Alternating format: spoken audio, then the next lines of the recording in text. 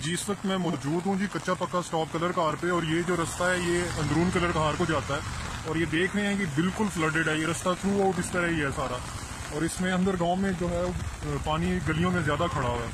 और ये भी रास्ता जो है, इधर तक तो साफ़ है, लेकिन इससे आगे ये भी रास्ता जो है, इसमें भी पानी भरा हुआ है। और इस रास्ते पे आगे जाके दो दो फुट पानी है, मैं पहले आया हूँ यहाँ पे।